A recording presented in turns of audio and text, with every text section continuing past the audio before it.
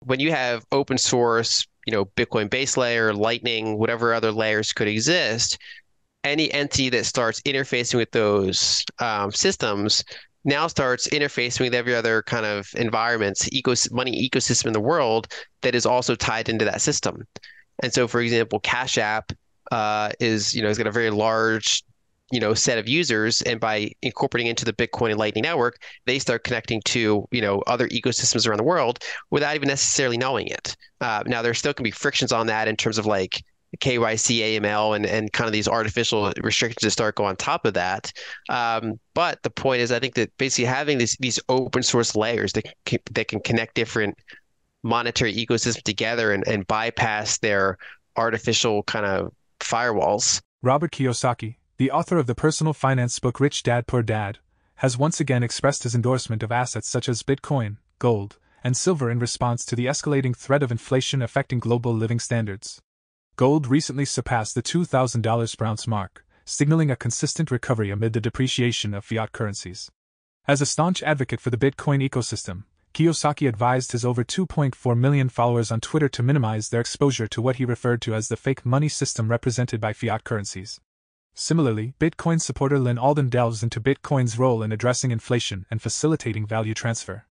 According to her, Bitcoin remains the foremost credible method for transferring value over long distances without reliance on traditional credit systems.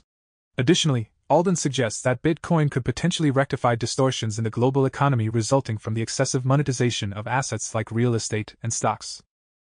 Daily Dose Crypto Challenge Win $1,000 of Bitcoin, simply subscribe to our channel, like this video, comment below how much you think Bitcoin price will be on January 1st, 2024. Winner will be announced January 1st, 2024, 6 p.m. GMT time. Good luck. Bitcoin kind of solves these last two problems, which is it's it's the first credible way to send value long distances without relying on credit. You know, all you're relying on is the ongoing functioning of a decentralized network. Um, you know, so you're all you're all you're relying on is there not being a 51% attack to reverse your transaction, which is different than credit. Um, so you're sending a, a largely irreversible bare asset to someone uh, at roughly the speed of light, especially if you're using something like the Lightning Network. But even if you're using the base layer, it's you know half an hour for reasonably settled transaction. Um, and also, you have infinite value density. So, for example, unlike uh, an airport, like a, with an airport with cash or gold, you know, with Bitcoin, you could memorize 12 words and bring a billion dollars through an airport if you had it right? There's just infinite, infinite um, value density that it's can go so in and out of countries. It's so beautiful. Yeah, yeah. It just, yeah, yeah it just it breaks that whole thing wide open. And then secondly, if I want to pay a videographer in Egypt, he can send me a QR code or a string of numbers, and I can pay him in whatever he wants. It could be Bitcoin, it could be dollar stable coins, you know, whatever he wants. With, with reasonable privacy. Yeah. Yeah, with reasonable privacy, and it depends, and there's ways to improve that over time but you know he can get some degree of of just direct to him that goes around his local banking system. Um, the same thing is true. Like if there's a, a Norwegian graphic designer and she she charges whatever she wants. She's okay. I want stable coins. I want bitcoins. Uh, and instead of going through like their local official exchange rate, um, it can go at the the real kind of the street exchange rate. Like it can, it can get directly to her, and then she can either, in some cases, depending on where she is, just spend that directly. She could spend with Bitcoin or spend with stable coins, or if she does convert to the local currency, she's now basically converting on the the street rate, which is better for her to to get back into the local currency. And so these kind of 160 different currency bubbles are every one of them has their gates down now. They're all starting to get cracked open and of course, this takes time because only in the past five years has any of this been liquid, right? So I mean, stablecoins were tiny until this last cycle. Bitcoin was fairly small until the last like two cycles. And until it gets kind of bigger, less volatile, just more liquid overall, more awareness, more comfort with how it works, you know, it's kind of limited at the current time. But the more Bitcoin communities pop up, the more people use stablecoins, whatever whatever's working for them, whatever the market forces kind of end up wanting. There's there's pros and cons to both, obviously. Um, that just starts cracking this like artificial framework we've had for the past you know century and a half, really. I don't think that the market understands that it how big that can be yet. Like that's it can change macro, it can change money.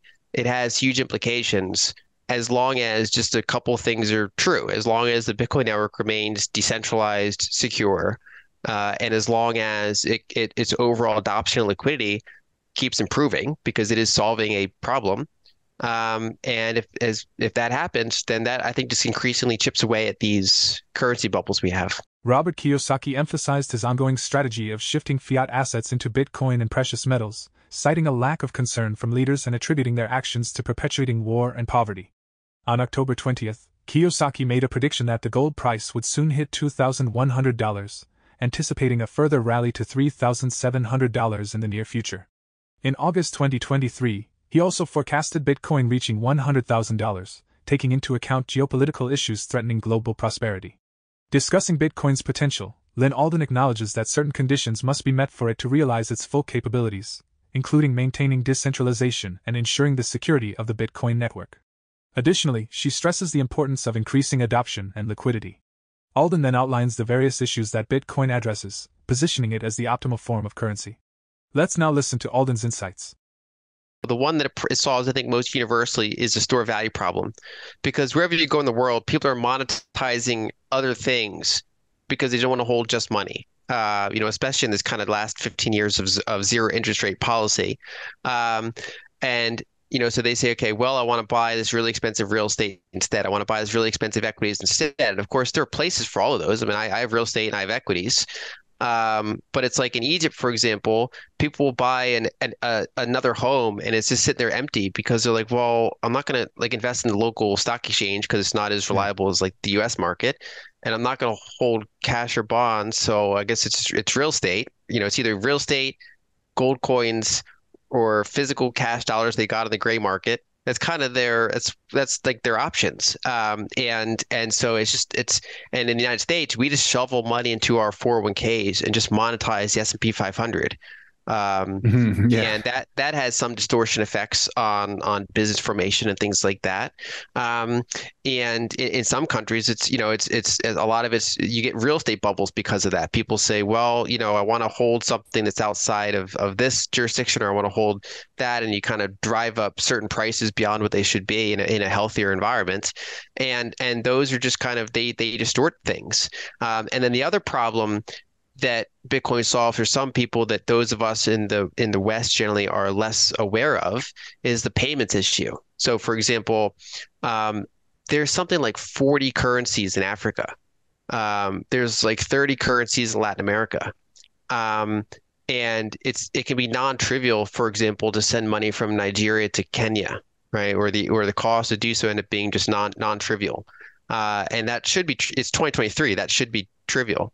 Um, and the interesting thing about things like Bitcoin is that it, it just can bridge that gap. So like apps can work with each other as long as they have internet connection and just have this kind of shared open source way of communicating with each other uh, in a way that's that's not really working for a lot of people right now. So, you know, those of us in the United States or Canada or Europe, we generally don't have that many payment frictions on a regular basis. Sometimes if we send an international wire, we'll, we'll be reminded how antiquated some of this is. But other than that, we generally don't go around every day thinking, you know, uh, like if only I had better payments. Um, only around the margins do we see it, but in a lot of countries, it's it, it's non-trivial. And then especially when you do think of this global scale, when you think of global remittances, when you think of like apps and money systems being able to communicate with each other across borders, um, I think all of that can get way better. And I think a really good analogy is email. So like every every like webmail client can talk to other webmail clients because they're using the same open source underlying protocols. They don't have to make like Yahoo and Gmail don't have to get together and make sure that their systems are compatible. They just have to make sure that their systems are compatible with the underlying open source. And so for, when you have open source you know, Bitcoin base layer, Lightning, whatever other layers could exist, any entity that starts interfacing with those um, systems now starts interfacing with every other kind of environments, ecos- money ecosystem in the world that is also tied into that system. And so, for example, Cash App uh, is, you know, has got a very large you know set of users and by incorporating into the bitcoin and lightning network they start connecting to you know other ecosystems around the world without even necessarily knowing it uh, now there still can be frictions on that in terms of like KYC, AML, and, and kind of these artificial restrictions to start go on top of that. Um, but the point is, I think that basically having these these open source layers that can, that can connect different monetary ecosystems together and, and bypass their artificial kind of firewalls, uh, I think changes a lot and mostly for the better. Bitcoin's hash rate reached an all time high, signaling the network's strength and resilience just ahead of the highly anticipated halving event. The total hash rate, now at 491 EXA hashes per second, reflects the computing power used to secure the Bitcoin network. This surge not only makes it more challenging for potential attackers to gain control but also indicates a growing level of mining activity globally, with miners expanding operations and utilizing more machines to maximize profits. Hash computations, the process of turning data into fixed length strings, play a crucial role in Bitcoin transactions by creating private keys. A higher hash rate contributes to increased network security, as attackers would face substantial costs and energy consumption to match the existing hash rate. This aligns with the narrative that a higher hash rate requires more powerful mining hardware, potentially leading to increased costs for miners and higher energy consumption, a point that has previously drawn criticism. Looking ahead, the upcoming Bitcoin halving event, expected in April, is viewed as a bullish indicator for the market. Occurring every four years, this event reduces mining rewards, curbing Bitcoin inflation and historically driving increased demand for existing Bitcoin in the market. With Bitcoin's fixed supply of 21 million coins and over 19.5 million coins currently in circulation, the halving underscores the cryptocurrency scarcity and its potential impact on market dynamics. The call for investment in Bitcoin by Robert Kiyosaki and Lyn Alden prompts reflection on the significance of these developments. What are your thoughts on their perspectives? Share your opinions in the comments section below. For more daily dose crypto news, check out these two awesome videos on your screen. Click now and we will see you on the next video.